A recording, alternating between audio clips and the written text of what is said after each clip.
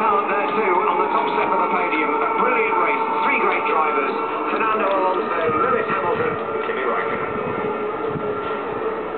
So let's take a look at the results coming out of the Italian Grand Prix. Fernando Alonso there, of course, scoring full points.